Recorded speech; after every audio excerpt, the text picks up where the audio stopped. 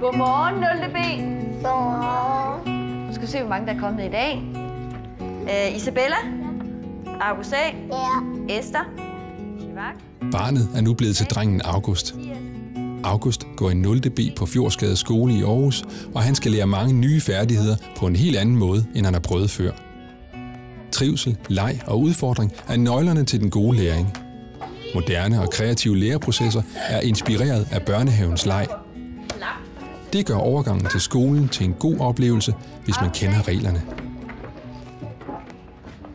Så skal man øh, slå på det bogstav, som der starter med de ord, hun siger. Det er nemlig fuldstændig rigtig flot forklaret, August. Så skal vi have en mere. Det kan for eksempel være... Øh, og A. Okay. Jeg siger nogle forskellige ord. Hvis jeg nu for eksempel siger... Øh, ørn.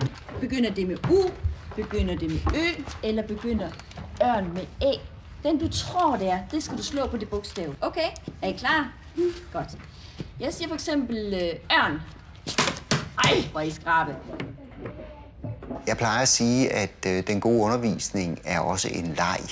I hele taget er leg en væsentlig del af det overhovedet at lære at blive menneske. Når øh, børn opdager rollelegens betydning, eller når voksne gør det og klæder sig ud i alle mulige øh, gevanter og drøner rundt i skove og leger hobbiter og andet godt, så er det i virkeligheden læreprocesser. Så siger jeg æble.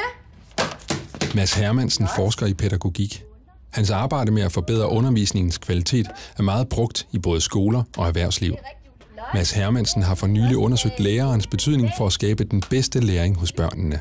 Læring handler om, at man selv skaber eller selv konstruerer, som vi siger på mit sprog, så konstruerer man en forståelse, en sammenhængsforståelse, der giver mening, hvor tingene bliver koblet sammen.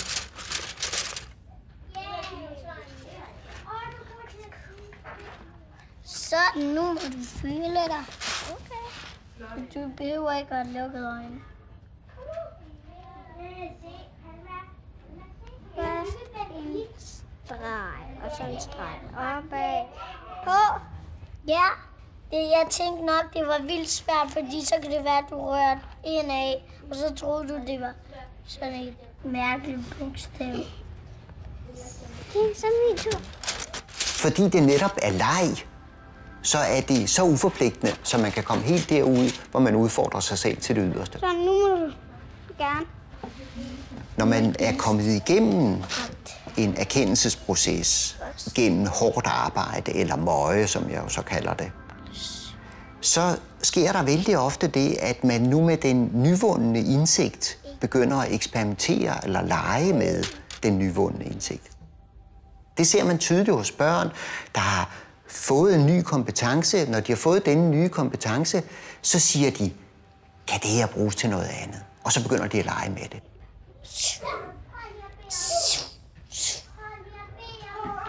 Dag? Nej. Var det J? Nej, og du har ikke flere gæt tilbage. Hvad var det? Et K. Kok. Jeg tror, det var Æ. Ja. Et Æ. Okay, godt. Vi kan hjælpe børn til at skabe den forundringsproces og den sammenhængsproces, der gør, at nå ja, det der hænger selvfølgelig sammen med det der, der hænger sammen med det der, der hænger sammen med det der. Hold kæft, det er jo sådan, det er. Når man har konstateret det, så glemmer man det aldrig.